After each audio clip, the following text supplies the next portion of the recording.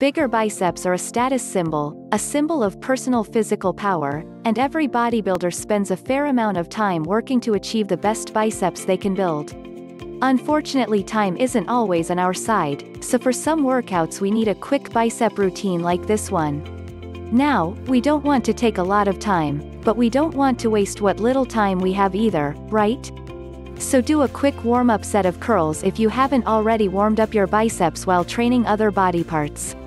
Don't overdo it, one set of 10 to 15 reps should suffice to get blood into the muscles and loosen up the joints, tendons and ligaments.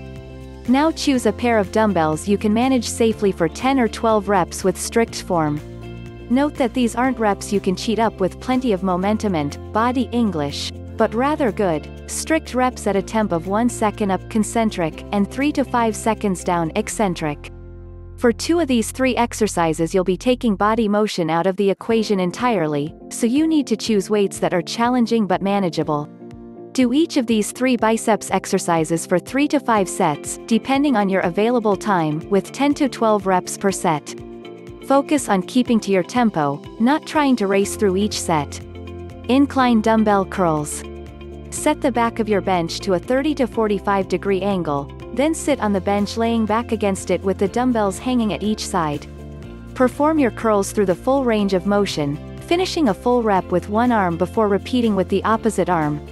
Keep your body flat on the bench throughout and don't let your elbows travel forward as you raise and lower the weights dumbbell Scott curls or dumbbell preacher curls. Depending on the equipment you have available, you can do these as Scott curls or preacher curls. If neither bench is available, you can also stand behind an incline bench and rest the back of your upper arm down the padded back.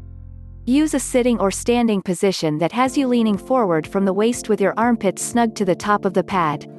Resist the urge to lean backward as you raise the weights, the reason you're using the bench is to prevent yourself from cheating the rep by involving your body weight.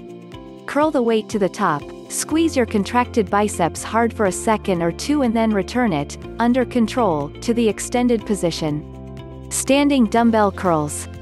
To finish off this quick bicep workout, use standing dumbbell curls. On the first exercise your elbow was behind the plane of your body while on the second it was ahead of your body, and this time you'll keep your elbows at your sides.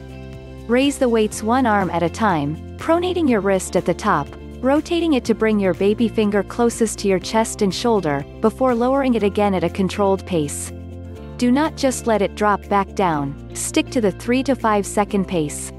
By the end of this quick bicep workout you should be able to tell the muscles have been well worked, and flexing them should reflect a good pump. If timing is too tight even for this short routine, you can shorten it even further by doing one set of each exercise with no breaks in between, resting for one minute and then repeating the three sets until you've done your three to five cycles. Either way, re-rack your dumbbells and smile, your biceps know they've had a great, fast workout.